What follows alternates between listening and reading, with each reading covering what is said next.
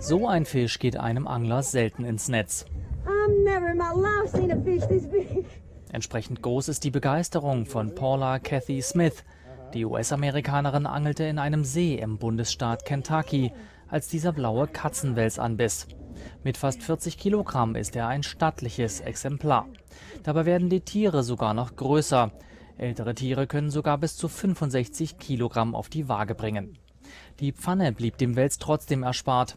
Nach dem Fotografieren setzte Smith ihn wieder zurück in den See.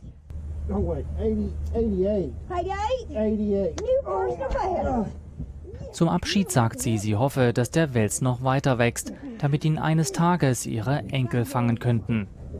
I hope you grow so my grandsons can catch you.